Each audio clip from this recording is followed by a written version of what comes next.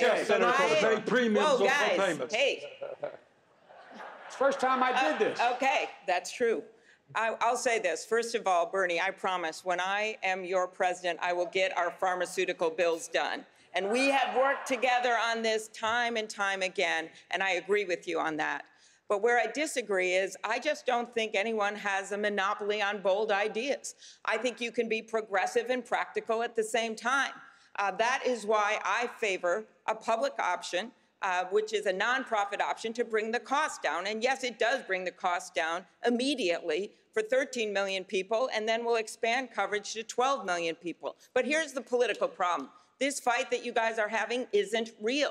Your fight, Bernie, is not with me or with Vice President Biden. It is with all those bunch of those new House members, not everyone, by any means, that got elected in that last election in the Democratic Party. It is with the uh, new governor, Democratic governor of Kentucky, uh, that wants to build on Obamacare. And the way I look at it, if you want to bridge, build, if you want to cross a river over some troubled waters, you build a bridge. You don't blow one up.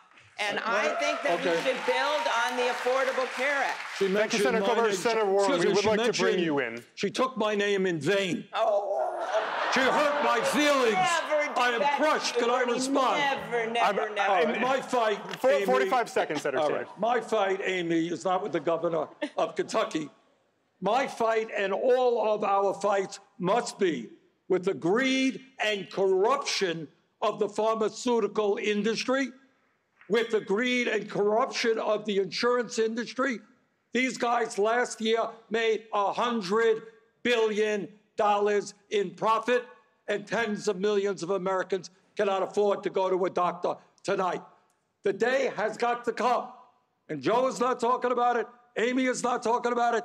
The day has got to come, and I will bring that day about when we finally say to the drug companies and the insurance companies, the function of healthcare is to provide it for all of our people in a cost effective way, not to make massive profits for the drug companies and the insurance companies.